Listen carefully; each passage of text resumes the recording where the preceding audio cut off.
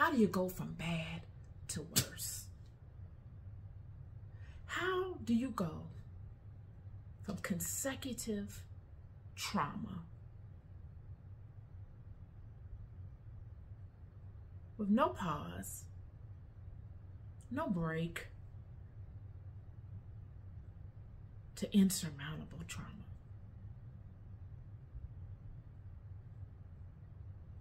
It said that the people were weeping. These are warriors. They done came, traveled.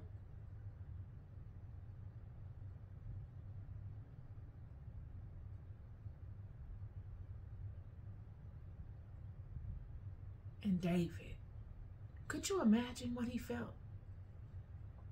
He already is in a state where his leadership isn't being questioned, but if it keeps trending, it will be questioned and he will be hurt by these people.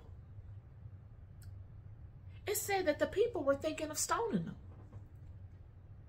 Everybody is distressed. Distress is an understatement. Everything is lost. There is nothing. The cattle, the women, the children, everything burned. And the cattle and the women and children taken.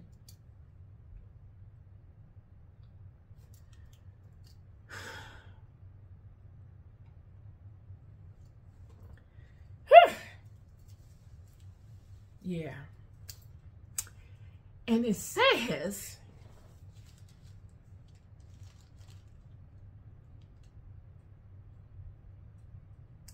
verse 6 And David was greatly distressed, for the people spake of stoning him. Because the soul of all the people was grieved, every man for his sons and for his daughters. But David encouraged himself in the Lord his God. Yo.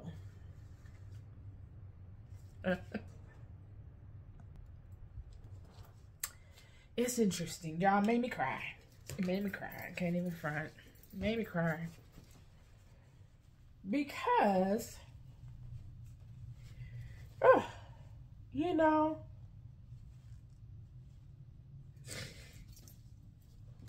you ever get to a place where to encourage yourself. Have you? Have you ever gotten to a place where you had to pull from you had to pull from deep within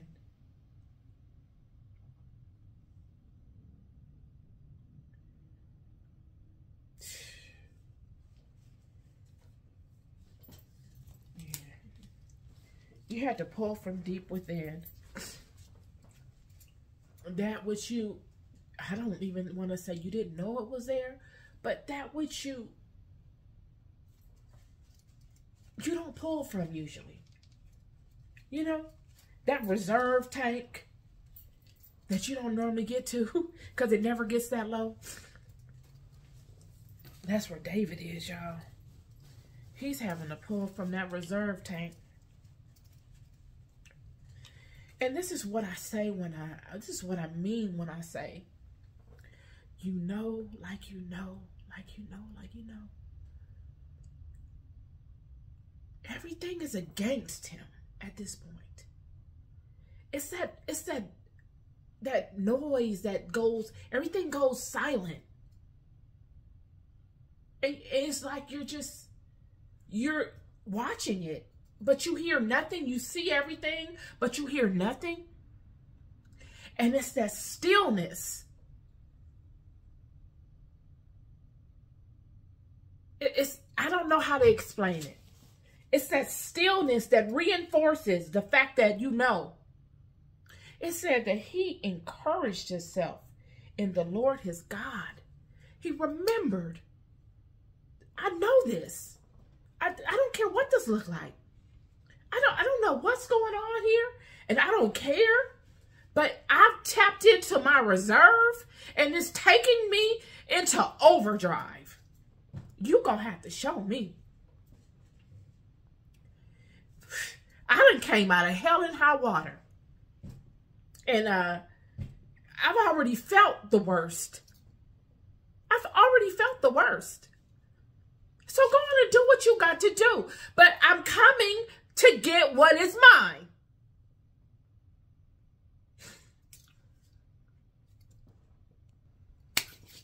All right.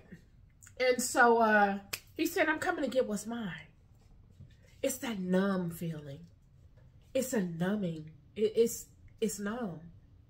First thing David say is,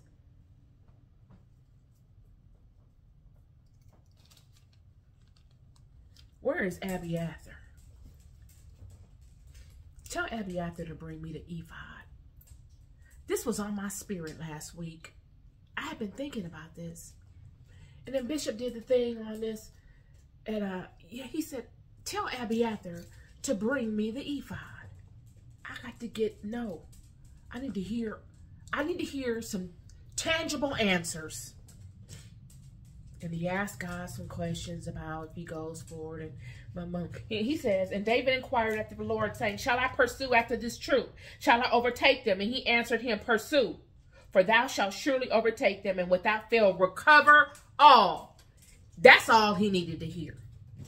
When I, I'm telling you, when you get your word from God, friend, it come like a new, it come like uh, adrenaline. You, uh, immediately your thoughts start opening up. You're like, okay, okay, okay. And so David went, he and 600 men that were with him, and came to the brook Besor, where those that were left stayed behind. He took 400 with him, left two. And they found an Egyptian, okay? The Egyptian, this, this goes to show what I'm telling you. So they found an Egyptian that was left by the, Amel, uh, uh, the Amalekites, Amalekites, um, Amalekites. These are the people that took the women and children and uh, they left this Egyptian because he got sick. They had no loyalty to this Egyptian after he had done so much for them.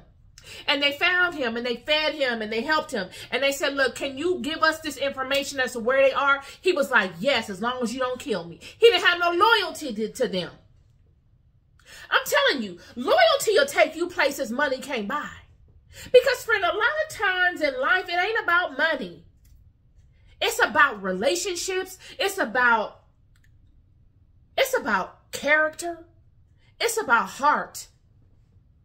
And some of a lot of a lot of people don't have it. And the only time you find out who has it is in these kind of situations, friend. These situations show you exactly what's cracking. It, it, shows you exactly who's who and what is what. And a lot of times, many of you, Sauls of the world, You'll find yourself in these situations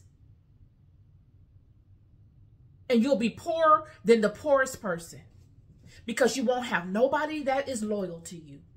Everybody around you was just there to benefit from you. They never told you the truth because you never honored truth. You honored ego. So you got a bunch of people around you that pray, that, that praise your ego. Just like Ahab had when he came up against Micaiah, the prophet.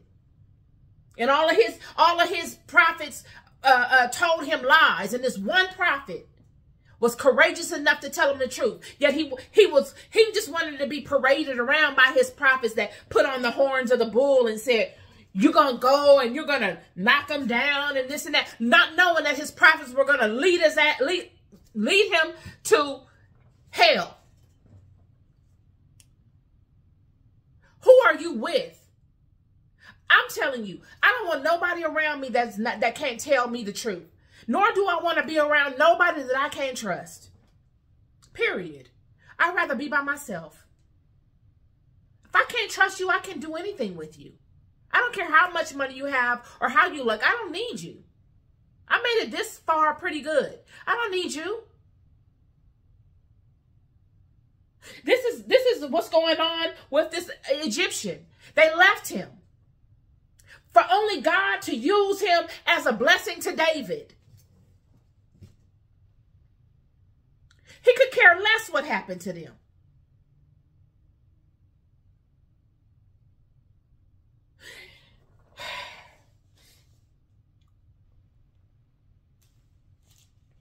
Nonetheless, David comes upon them after he got the word from God, friend. David was sure of himself. And everything lined up. But had David not gotten that ephod, would it have lined up? Had David not consulted God? And this was how David moved. David didn't do nothing without consulting God first. David didn't let his emotions overpower him and misdirect him. David stayed in alignment. David stayed true to his alignment. He didn't let nothing overshadow it. Surely when the Amalekites came upon his family, all of the family of his of the nation that he was with, and took everything that mattered. Friend, the women and the children are all that matters. What what what is there outside of that? They took everything. And David said, David could have easily said, Oh, heck no. He could have easily got on a horse and just let's go. This is a warrior. These are warriors. These are warriors. So it would have been easy to do that. I'm sure he wanted to do that. I'm sure his spirit encouraged him to do that. But he controlled himself. And it said he, yo, it said, but David encouraged himself in the Lord his God. He didn't get, he didn't let it blow him.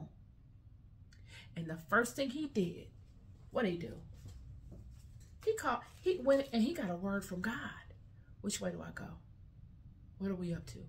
Is this it for me? Is this you, you calling me home? Prepare a table for me if you calling me home. But if not, what what is the move? What is the move?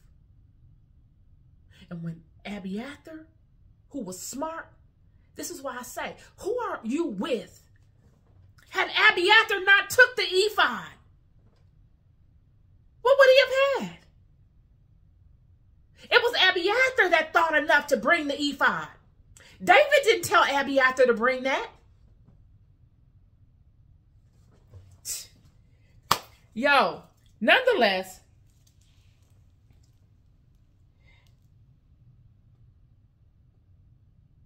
and it says here, verse 16, and when they had brought him down, behold, they were spread abroad upon all the earth, eating and drinking and dancing because of the great spoil that they had taken out of the land of the Philistines and out of the land of Judah, both David and their stuff. And David smote them from twilight even until evening of the next day. He didn't quit. And they there escaped not a man of them, save four hundred young men, which rode upon camels and fled. And David recovered all that the Amalekites had carried away, and David rescued his two wives. And there was nothing lacking to them, neither small nor great, neither sons nor daughters, neither spoil nor anything that had taken to them. David recovered all.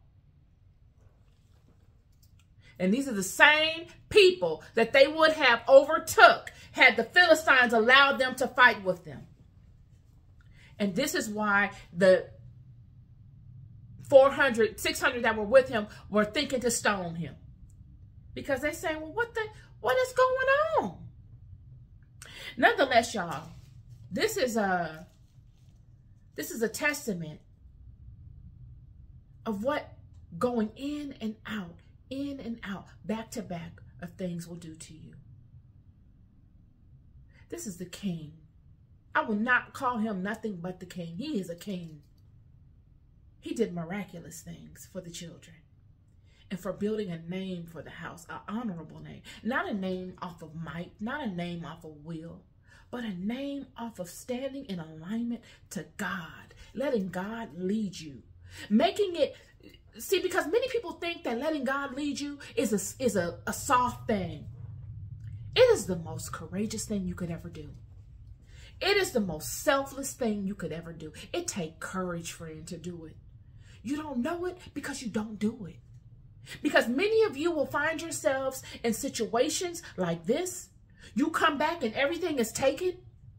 And you're like, oh, oh no. Oh, is that what we're doing? Okay.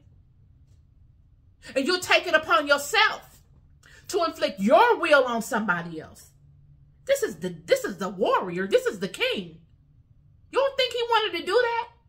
Yet he encouraged himself in the Lord God. And he went he got a word from God. That in itself, just that little small part, that takes a ton of courage, friend. That tells you really where your power come from. That's real power. this is my podcast conversation for you. Today it was more of a Bible study, but uh it's it is what it is. I love y'all. Be good to yourselves and be good to each other. Peace and love.